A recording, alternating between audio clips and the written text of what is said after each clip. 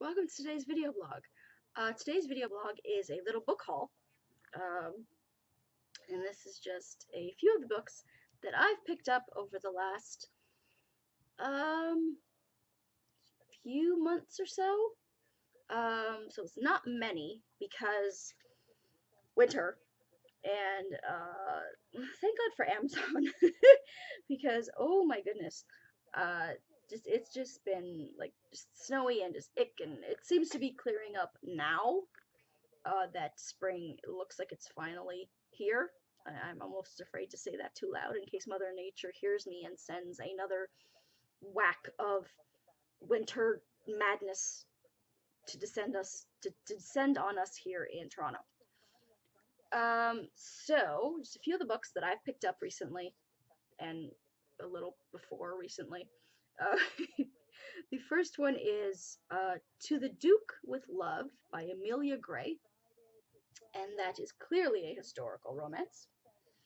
Um, very, very pretty.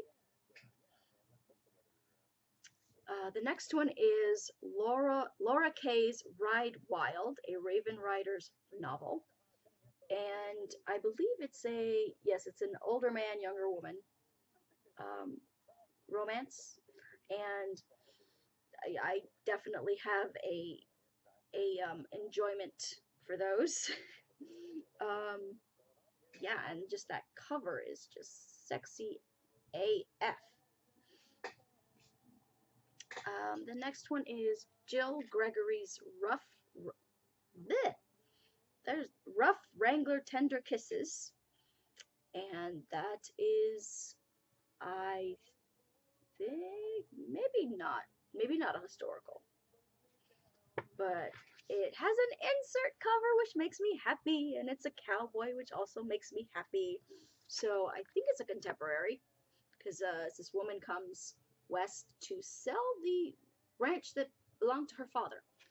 Um, so yeah that looks really quite yummy. And this one i bought even though I have a copy of this book already, but I don't have the TV version, and I still have to get the, the the season two book tie-in, which I but I don't have it yet. But I did find Diana Gabaldon's Voyager, which uh, is the book that season three of Outlander is based on.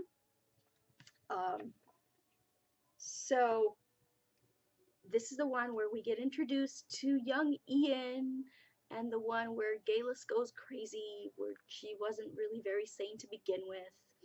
Um, and this is the one where Claire goes back, goes back to Jamie where she belongs. And we get uh, a little bit more of Brianna and Roger.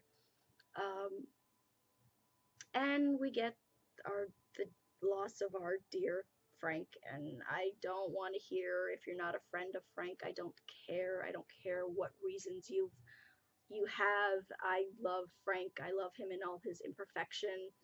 Um, just the same as I love Claire in all her imperfection, and I love Jamie in all his imperfection. I don't want to read about perfect characters. They are boring.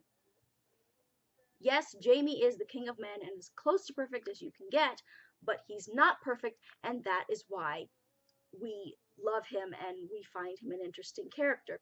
Same with Frank. Frank is not quite as perfect as Jamie, but he is an awesome, compelling character as well. Um, and that's my little mini rant on those who hate, hate Frank. If you hate Frank, I don't care. I like him. So I need to get the uh, TV tie-in version for Dragonfly in Amber, which is season two. But um, I ended up finding this one and grabbing it. Um, so that is a few of the books that I picked up recently, and uh, that's going to be the end of this video. Uh, follow me on face. Ah, I screwed it up. Follow me on Twitter at twitter.com slash author authorejamie. Like my Facebook page at facebook.com slash author authorejamie, and I will talk to you guys next time. Bye.